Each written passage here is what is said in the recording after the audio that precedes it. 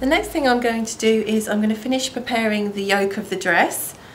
So what I've done is I've ironed on some fusible stabilizer and I've pressed uh, the placket where uh, I've marked it and now all I need to do is sew a straight line, straight stitch line down the front. I've changed my thread colour to a lighter colour just so you can see it but when you're doing your dress at home you need to, you can just use the same thread. So we're going to set the machine up for a straight stitch. I'm just going to move the dial to number two so I have a straight stitch and I'm going to change my stitch length to two and I'm going to take my stitch width down to nothing. Uh, tension can remain the same. So now I'm going to sew my stitched line down the placket. It's always a good idea dear to do a test first, so I'm just going to try on this spare piece of fabric. I just want to see what my stitch length looks like.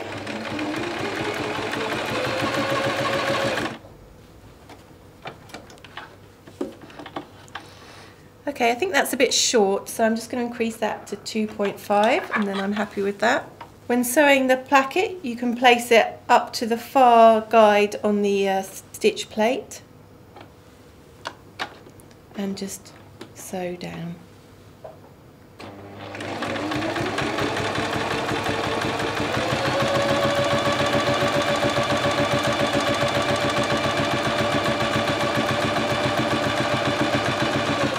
When I reach the end, I'm just going to reverse a little bit to secure my seam by pressing the lever.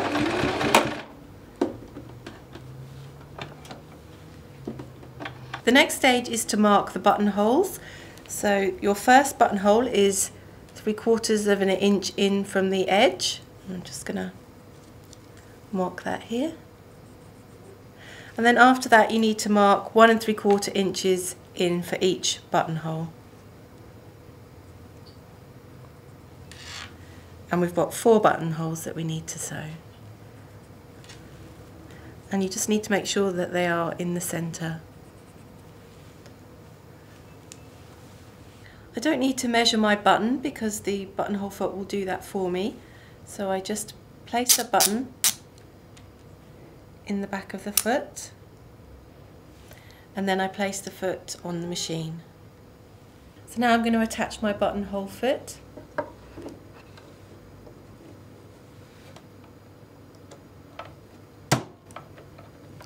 And I need to engage the buttonhole lever. I bring it down and then push to the back.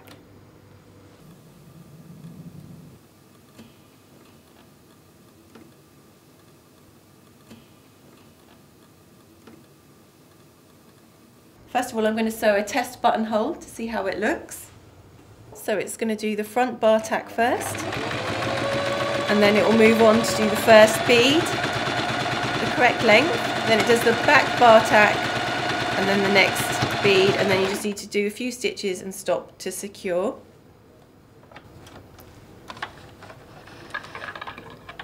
And now I'm going to just cut open my buttonhole so I can test and see if my button fits. So I'm going to go from the outside in, both ends. I'm just going to see if my buttonhole is going to go through.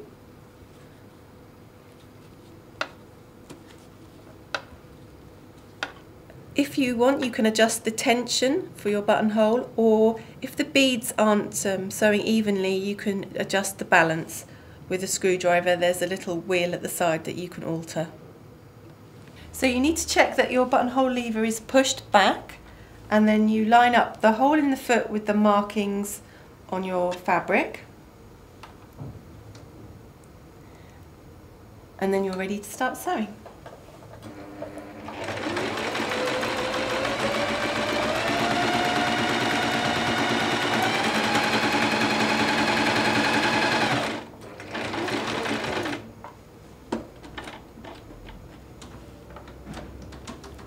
The buttonhole length is now set so you can carry on and sew the other three.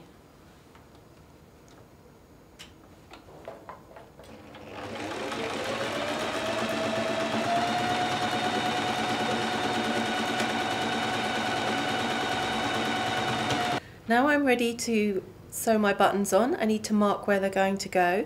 So the first thing I need to do is finish um, cutting open my buttonholes. So I'm just going to do this lower one. Once again I'm going to go from the edge into the middle. And then I can place both bits of fabric together and just with a chalk marker I can mark in the middle and that's going to show me where I need to place my buttons. Now I need to change my presser foot but first of all I'm going to replace my buttonhole lever, push that back up then I can take my buttonhole foot off and attach my button sewing on foot. So now I'm going to set up my machine for sewing on a button. I need to change it to a zigzag stitch. I need my stitch length to be on zero and depending on how wide the holes are on your button it can be between three and five. I'm going to start off at four and see how that goes. And I also need to lower the feed dogs on my machine so my button doesn't move. So I'm just going to take my extension table off and there's a little switch underneath so I just push that over. I can put my extension table back on and place my fabric underneath the foot. So now I place the button under the buttonhole foot so I can see both holes and I need to do a test to make sure that the needle goes into the hole. So I do the first hole and then the second hole so that fits nicely. So now I need to change to a straight stitch so I secure my threads at the beginning. So I'm going to select a straight stitch and sew a couple of stitches. Now I can change back to a zigzag, sew my button on, and then at the end I go back to a straight stitch to secure.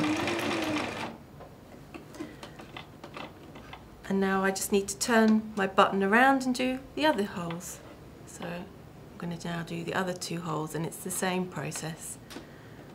So I just check it's going to fit. So back to a zigzag, check it's going to fit. Do a straight stitch.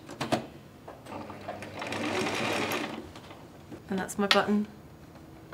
Now I've finished sewing my buttonholes and I've sewed my buttons on and I just need to do them up and then I'm ready to move on to the next section.